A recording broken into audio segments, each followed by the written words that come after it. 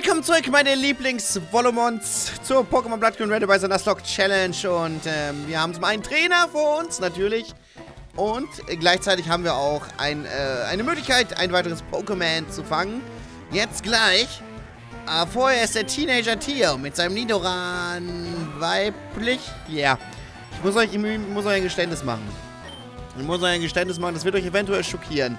Aber ich komme ab und zu mit dem weiblich-männlich Zeichen durcheinander. Ja, ja, tatsächlich ist es so. Weil ich einfach mir darüber nie so wirklich Gedanken gemacht habe. Und neuerdings jetzt hier in den Pokémännchen spielen, da, da kommt es dann vor, dass man es doch mal braucht. Und dann ist man manchmal ah, verwirrt. Ja, das ist die traurige Wahrheit. Das ist die traurige Wahrheit. Was soll ich machen?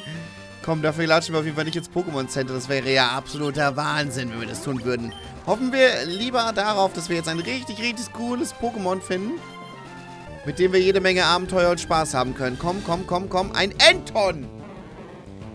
Ein Enton. Naja. Ja, ich weiß auch nicht, wie ich den überhaupt, ne, was soll ich gegen den machen? Wenn ich jetzt den mit Tackle einschlag, er stirbt nicht. Ist also nicht wie das Dick da und dem Ruckzuckhieb. Wo es mir, was mir immer noch ein Rätsel ist, tatsächlich, aus dem letzten Part. Wer es nicht gesehen hat, da ist es mir immer noch ein Rätsel, wie das passieren konnte. Und hoffen wir einfach mal, dass es Anton im Pokéball bleibt, weil die Chance besteht durchaus, würde ich sagen. Und da haben wir es. Mann. Geil, ey. Läuft doch, läuft doch, läuft doch, läuft doch. Anton. Ähm, dieses Pokémon lädt Gegner mit hypnotisierendem Blick ein, bevor es Zugkraft einsetzt. Das ist ziemlich gefährlich. Ein Entoron wäre auch gar nicht so schlecht, wenn wir mal ehrlich sind, ne? Und äh, den nennen wir... Den nennen wir Alfred. Weil... Ihr kennt ja alle bestimmt Alfred Jodokus Quack. Natürlich kennt ihr Alfred Jodokus Quack. Ihr seid ja keine Idioten, oder? Natürlich kennt ihr ihn. Wehe nicht. Das ist, das ist meine Kindheit. Warum bin ich so fröhlich, so fröhlich, so fröhlich, so ausgesprochen fröhlich? So fröhlich war ich nie. Ihr kennt's, ne? Klar. Okay. Ab zum nächsten Pokémon-Trainer, der hier so ein richtiger äh, Glücksspieler ist das. Mit dem Rizeros. Rizeros ist nicht schlecht. Rizeros ist nicht schlecht. Jetzt haben wir auch schon wieder... Jetzt haben wir halt auch schon wieder ein Wasser-Pokémon abgegriffen, ne? Oh, ja, und, und Psycho ein bisschen. Psycho ist da ja auch mit bei, natürlich, aber... Ja, so insgesamt... So insgesamt bin ich da noch nicht sehr zufrieden mit, muss ich sagen. Also... Nee, wirklich nicht. Nido King. Ähm... Können wir ja mal Sandy machen lassen, aus Spaß an der Freude. Hätte auch, hätte auch Draco machen können. Na, egal. Nee, ich bin jetzt echt, ähm, was wollte ich jetzt sagen? Ja, wir brauchen mal andere Pokémon. Was ist das denn hier? Immer nur, immer nur so, so eine gewisse Art von Pokémon, die wir immer und immer wieder fangen. Aber, ihr Flug-Pokémon mal. Wie wär's denn mal mit dem Flug-Pokémon? Gibt es nicht. Oder habe ich einen Raupi auf der Bank, dass ich so eine Smetbo machen kann? War da nicht mal was? Ja, natürlich. Heißt es nicht Wunder oder so, wegen wunderschön? Ich glaube fast ja. Also, wenn mich nicht alles täuscht, dann war das so. Aber ich, ich man kann sich auch immer ganz schnell täuschen. Oder ein Lavados. Gib mir doch mal ein Lava... Ein Feuer-Pokémon. Ein Feuer-Pokémon. Das wäre durchaus mal angebracht. So, wir wollen nach vorne setzen. Hm, Draco. Und wir möchten ganz gerne natürlich das Gegengift usen, ist ja ganz klar. Die steht außer Frage. Sandy, alles ist gut, alles ist gut. Ich habe das, hab das hier unter Kontrolle.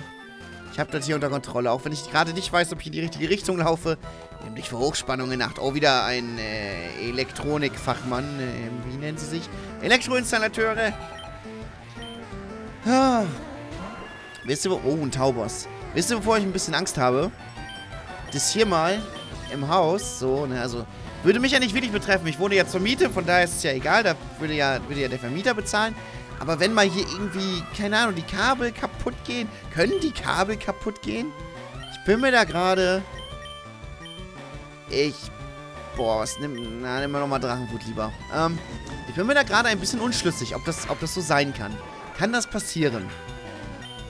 Oder generell, wenn man das Klo verstopft hier. Oder äh, nicht auszudenken wäre natürlich auch die Tatsache, was wäre denn, wenn Was wäre denn, wenn einmal das Internet hier ausfällt? Kennt ihr das Problem? Ich meine, man hört das ja immer wieder, dass das dann in Orten, also so ein ganzer Ort dann irgendwie zwei Wochen oder länger ohne Internet dasteht, auch mal einen Monat und länger. Ich möchte mir das ehrlich gesagt nicht ausmalen. Dann bin ich nämlich... Was mache ich denn dann? Hm, hab mich gearscht, ne? Aber ich glaube, in der Regel passiert das nicht. Und ich glaube, wenn, wenn man an so einem Ort lebt, wo das passiert, dann hätte man das auch schon mal erlebt, oder? Regentanz. Ich glaube, das macht nur irgendwie ähm, Wasserattacken stärker, oder? Erhöht Stärke von Wasserattacken, fünf Runden lang. Hm. Nee. Nee, nee, nee, nee, nee, nee. Ich glaube... Ja, es ist halt so ein, so ein Ding, du musst es erstmal einsetzen, dann musst es erstmal... Dann muss das erstmal wirken. In der Zeit kann der Gegner schon wieder angreifen und ach. Und ich kann mich auch nicht darauf verlassen, dass jetzt jemand hier nur Feuer hätte oder so. Wenn wir jetzt noch so einer Feuerarena entgegenstehen würden, dann... Dann würde ich sagen, ja, kann man machen. Aber da sowas ja eigentlich nicht passieren kann, dass die Leute nur Feuer haben oder so. Hm. Nee. Ich weiß nicht, ihr, ihr krassen Competitive-Leute. Wie macht ihr das denn? Nutzt ihr Regentanz? Wäre das eine Attacke für euch? Oder eher nicht so? Ich sage jetzt einfach mal, ihr nutzt, ihr nutzt das. Hallo, ey Junge. Junger Mann, zu dir kommen wir gleich. Wettkämpfe, ich kann ihnen nicht widerstehen. Das kann ich... Wettkämpfe. Gutes Stichwort. Wettkämpfe mag ich auch. Eventuell wisst ihr es. Ich spiele gerne Mario 64 Competitive. Ähm, ja, spiele ich sehr gerne und ich würde fast sagen, ich muss da, ich muss in der Mario 64 Competitive Szene bald wieder ein bisschen besser werden. Ich meine, ich gehöre da schon zu den besseren Leuten, also so in unserer Competitive Szene, aber so insgesamt ist da halt auch eh noch Luft nach oben. Naja. Oder in Diddy Kong Racing. Wo ich eigentlich immer der Meinung war, da bin ich krass gut. Aber da gibt es Leute, die sind echt auch also da, da nehme ich ja den falschen Char tatsächlich. Da müsste ich mir einen anderen Char angewöhnen, was ich ja nicht möchte. Und ah, alles, alles ganz schrecklich mit dieser Competitive-Szene. Fangt damit nicht an, Kinders. Fangt nicht an mit diesen krassen Wettkämpfen. Die machen euch irgendwann kaputt. Ja, ihr könnt da nichts anderes mehr denken. Als an, wie kann ich schneller werden in Mario 64. Naja, nicht wirklich. Nicht wirklich. Ich, ich vertreibe gerade ein bisschen. Ist okay. Ist okay. Nimmt mich nicht zu ernst. Ähm, besiegt London. Okay. Immerhin hatte ich eine Chance. Pff, wenn du das so sagst, also... Ich jetzt so nicht unterschreiben, ne? Aber... Ist ja okay, wenn du meinst. So, Kumpel. Kumpadre. Kumpadre. Mein Pokémon, meine Pokémon, ähm, sind bereit, ne? Pass mal auf jetzt hier, Freundchen. Jetzt ziehen wir hier nämlich mal ein bisschen die anderen Seiten auf. Die Schnauze voll von dir. Oh, tatsächlich, ein Snobillicat ist gefährlich. Aber alles nur Level 18. Alles nur Level 18. Wenn jetzt nicht, wäre jetzt nicht krass drüber. Aber, ja, ich, ich sehe jetzt nicht die Gefahr. Ich sehe jetzt leider Gottes... Soll ich echt jetzt leider Gottes dazu sagen? Leider Gottes nicht die Gefahr? Ich meine, ich will echt jetzt nicht... Ich will auch kein Pokémon verlieren. Ich meine, wir haben noch die Top 4 und so vor uns. Das wird noch... Das wird noch richtig krass. Nebulak. Da wechsle ich wieder auf Plupsi. Auch wenn er schon Level 27 ist. Das ist mir in diesem Fall völlig egal. Wobei Nebulak ist ja eigentlich... Ja, Nebulak ist ein Schwächling. Das ist ja die erste Form. Das ist doch witzlos. Nicht eine Aquaknarre an Latz. Und dann ist egal. Blupsi könnte da auch mal langsam was Neues lernen. Würde ich mal so sagen. Ah, blockierst du die Aquaknarre um 5? Um 5 reduziert, Mensch. Kollege. Vorsichtig damit. Vorsichtig. So, kommt da noch einer? Nein. Teenager Forest. Kann besonders schnell rennen, wer von Forest Gump stammt. witzig. Ich habe gerade erst angefangen, Pokémon zu trainieren, ey. Und hast jetzt voll die hohen Level. Wie hast du das gemacht, Freundchen? Das möchte ich wissen. Schon zwei Pokémon auf einer Aerodactyl. Ich fange gerade erst an mit den Pokémännchen. Das ist mir klar, Kumpel. Das ist mir klar. Ne, jetzt müssen wir auch äh, Blupsi wieder nehmen. Hilft ja nichts. Oh, nicht, dass du jetzt zurückschreckst, Blupsi. Nein.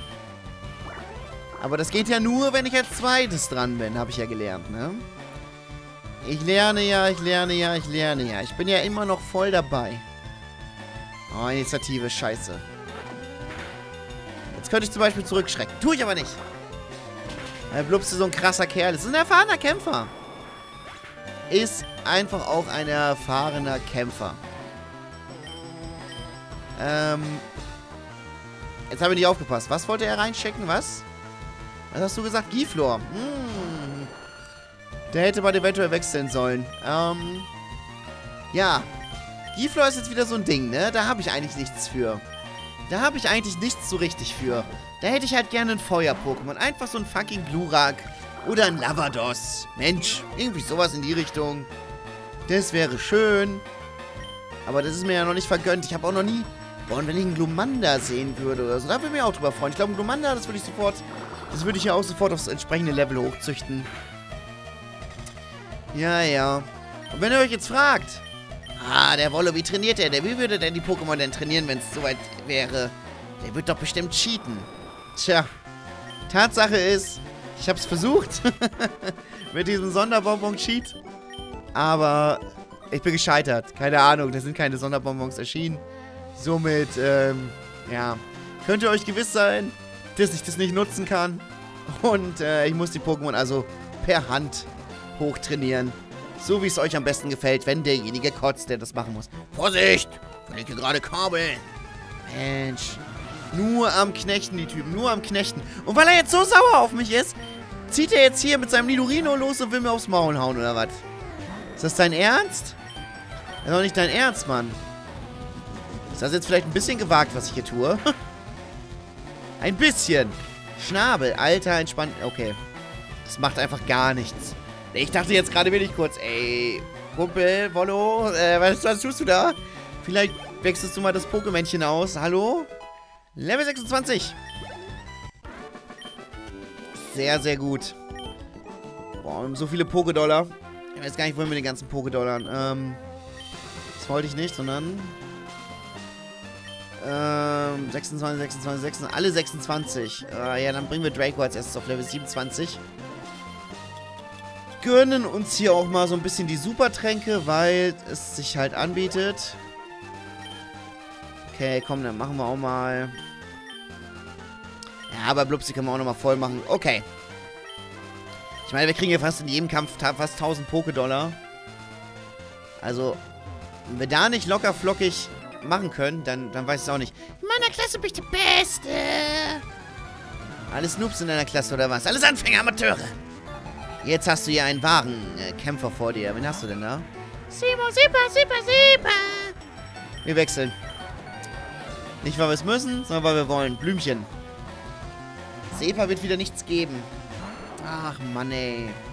Es dauert alles so... Es dauert jetzt, jetzt nämlich so, so der Modus, wo es echt lang dauert. Jetzt dauert es nämlich mit jedem Level. Es dauert lang. Jetzt hätte ich normalerweise, wenn ich, wenn ich noch ein Kitty wäre, ne, und mein Pokémon-Spiel so gespielt hätte, mein Shiggy am Anfang genommen hätte und es dann hochgezüchtet hätte, hätte ich jetzt mittlerweile schon einen Turtok. und das würde jetzt, das würde jetzt einfach, dieses Turtok würde jetzt einfach gegen alles kämpfen müssen, hätte dann 20, 30 Level mehr als die anderen und die Sache wäre geritzt. Ist halt so, ne? So sieht es nämlich aus. So, tschüss, Yukong. Spannender finde ich es tatsächlich jetzt auch so, wie wir es... Ey, guck mal, der hat echt nur Wasser. Ähm, spannender finde ich es tatsächlich auch so, wie wir es jetzt machen. Also dieses System mit, ne, jedes Pokémon wird entsprechend trainiert und dann muss man wechseln und dann, dann hat man eventuell mal ein Problem, weil man nicht das passende Pokémon dabei hat und muss improvisieren und das ist schon alles ziemlich cool. An sich, ich muss zugeben, wenn man die Pokémon entsprechend kennt, ist Pokémon gar nicht so schlecht. Äh, Pokémon ist gar nicht... Ich gebe es jetzt zu. So, ich sage es jetzt. Pokémon ist nicht so schlecht. So, ich habe es gesagt. Ich habe es gesagt. Ihr habt gewonnen, liebe Pokémon-Fans. Ich würde es jetzt niemals so in den Himmel hypen, wie einige andere das tun. So, ne, nach dem Motto, boah, da kommt ein neues Pokémon-Spiel, ich raste jetzt völlig aus. Das nicht. Aber ich kann mittlerweile eine gewisse Begeisterung verstehen. Ist okay, ich verstehe es jetzt langsam.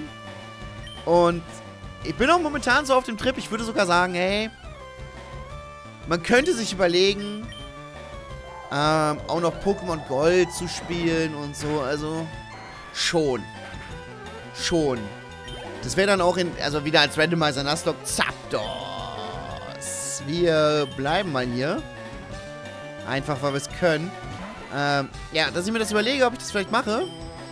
Und dann da dann halt erstmal die neuen Pokémon dann halt so ein bisschen erlernen muss, ne? Das ist dann vielleicht auch ganz interessant. Also das ist natürlich noch in weiter Zukunft. Wir haben jetzt gerade mal den dritten Orden bekommen. Aber ja, so insgesamt, so insgesamt ist das, ist das halt so eine Idee von mir, die ich mir, wo ich drüber nachdenke. Und tja, wenn ihr das gut findet, dann könnt ihr dazu ja was sagen. Wenn euch das egal ist, dann könnt ihr die Fresse halten. Mir ist es doch auch egal im Endeffekt. Oh, paralysiert. Aber es macht, er macht es. Ich glaube das nicht.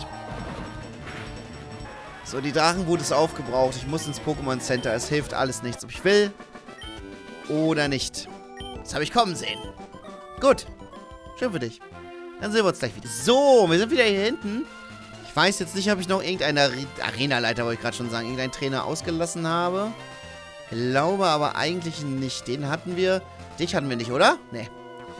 Haha, bisher habe ich noch nie verloren. Es gibt immer ein erstes Mal für alles. Auch wenn ihr euch das selber nicht vorstellen könnt, Freunde. Irgendwann ist es soweit.